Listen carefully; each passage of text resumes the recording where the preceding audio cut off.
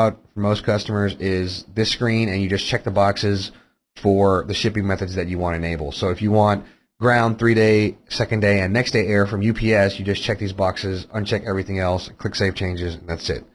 Those are the live rates that'll show up.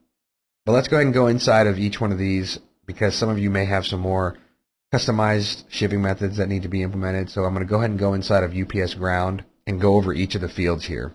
Shipping method ID is just the ID. When you add a new shipping method, you have to create a new ID. It doesn't auto ID for you.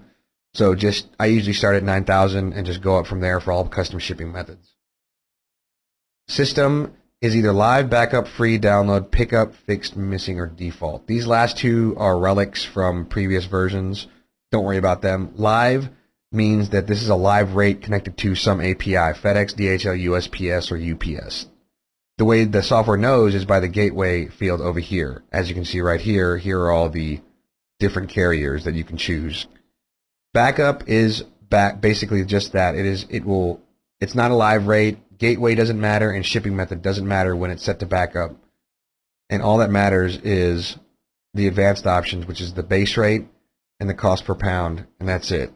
This then this is a backup rate. It will calculate exactly like it's supposed to from here on right here. Free is only used for the free shipping method. Download is used for any software items or any not really software, just any electronic items that you sell. The software chooses online delivery download when the product has nothing in the product weight field, meaning that it's null, not zero, not a point anything, just nothing. When it's blank. That's when the software knows that this is a software download or downloadable product, so it needs to use the download shipping rate. Pickup is basically in-store pickup. If you see this on the front of your store and you've tried everything and you've unchecked the, the shipping method, the reason probably is is that you're logged in as the admin. The software automatically adds the in-store pickup when you're logged into the store as the admin because it thinks that you are doing POS or point of sale inside the store, and the only way to get to point of sale is to be the admin. So if you see it, log out of the store and check to see if you see it anymore. And if you don't, then you're fine. Fixed is a fixed shipping rate. It it basically takes the base rate and that's it. And that's the shipping rate for that field.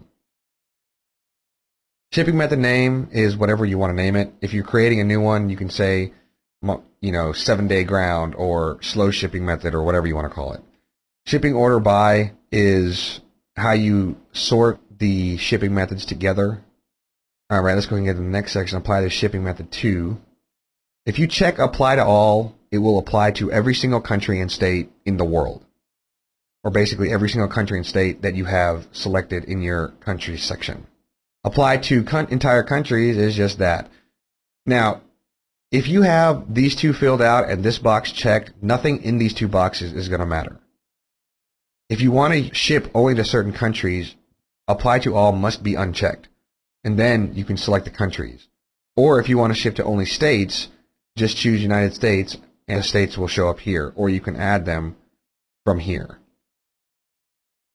However, do not apply to is mainly for what you see here states and provinces. There may be occasions where you want to apply to an entire country, but you want it to show up on the front of your store to the customer. I don't really know why you'd want to do that, but we give you the option just in case. Do not apply to basically is just that. Let's say you want to you sell only to the 48 contiguous states. You can just say apply to entire countries, but don't apply to these states, and then that's what it would do. Backup base rate is well. Before I go into what these are, let me tell you how the software calculates backup. The formula goes base rate plus cost per pound times weight. So let's say the total order weight was 10 pounds, then the final shipping tally will be 709 plus 710, which is 10 times 0.71. And so 14, whatever that ends up being, will be the shipping rate. So that's how the system calculates backup base rates.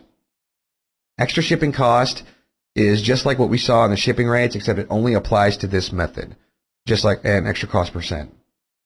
Minute order and max order price basically says only show this shipping method if the order falls in between these values or is above 50 or whatever or is below 200. Same thing goes for min order weight and max order weight. If the total order weight is between between two weight classes, then show this shipping method.